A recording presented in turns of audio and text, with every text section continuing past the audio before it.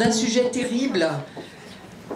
La romancière a fait un hymne à la vie qui irradie tous ceux qui le lisent. Et cette romancière, pour réparer les vivants, c'est Maëlys de Kerangal que nous saluons et que nous remercions. Alors en fait, ça faisait 9 ans qu'on faisait un prix avec France Culture, le prix Télérama France Culture. Et puis avec Olivier Poivre d'Arbor, qui dirige France Culture, on trouvait, euh, lui et moi, qui dirige la rédaction de Télérama, que ce prix s'endormait, s'encroutait un peu.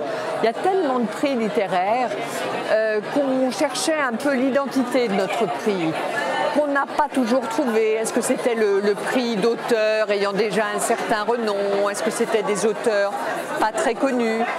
Et donc on s'est dit que pour que ce prix ait et une, une identité, il fallait trouver peut-être un public fort à, qui s'adresser. Et j'avais souvent rencontré des romanciers qui me parlaient avec beaucoup de plaisir des rencontres qu'ils faisaient dans le cadre du concours des lycéens.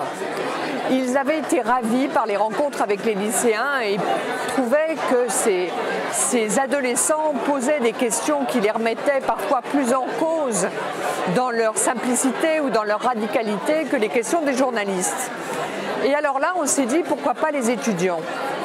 Parce que les étudiants, c'est présenté comme une couche de la population qui n'a pas le temps de lire à cause des études, ou qui se préoccupe beaucoup plus des écrans euh, de Google euh, et autres que de l'écriture, du print.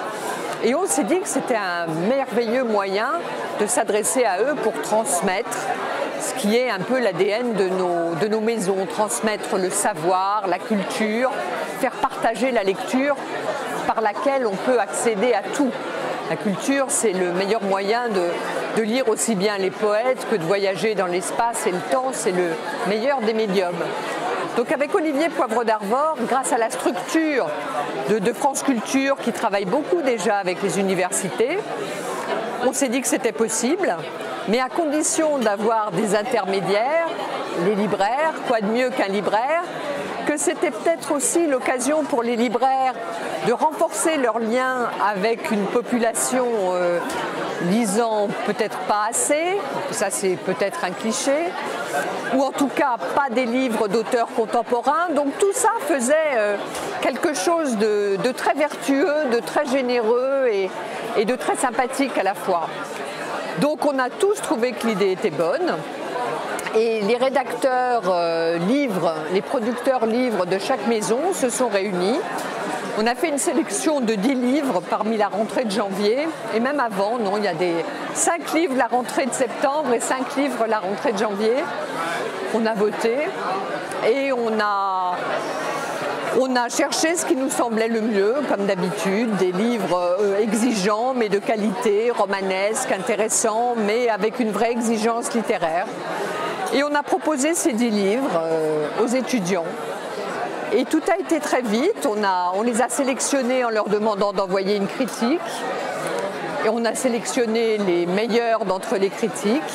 Et ça s'est organisé par ville, avec le concours des libraires, bien sûr, qui ont reçu ces étudiants, avec le recours, avec le, le concours des, des recteurs d'université.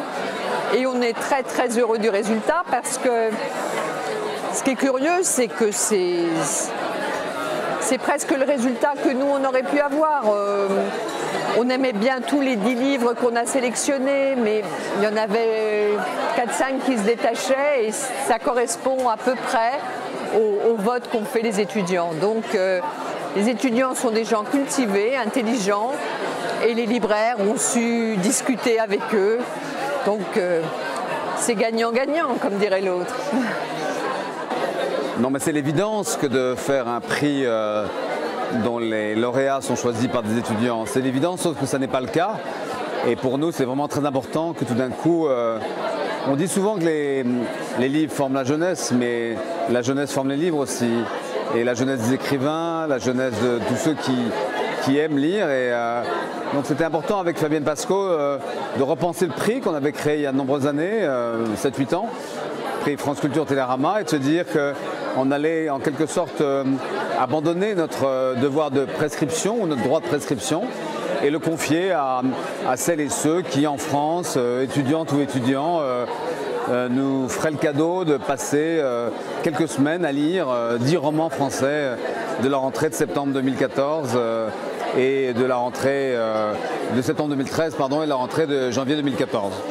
Donc c'était simplement cette euh, petite idée qui a généré cette rencontre assez magnifique grâce aux libraires, euh, euh, grâce évidemment aux auteurs qui se sont beaucoup mobilisés. Et aujourd'hui, c'est un, très beau moment, y compris pour, pour des responsables de médias, que de voir et d'entendre la parole de celles et ceux qui ont lu le livre de Malice de Carangal, Réparer les vivants. alors ce soir, je suis, je suis très touchée. Ce prix, c'est celui de la jeunesse. Euh, ça me permet de dire que les, étudiants lisent, contrairement à ce qu'on pense, euh, les jeunes aiment les romans. Euh, la sélection était très belle, sûrement assez exigeante, et je crois qu'ils l'ont aimé.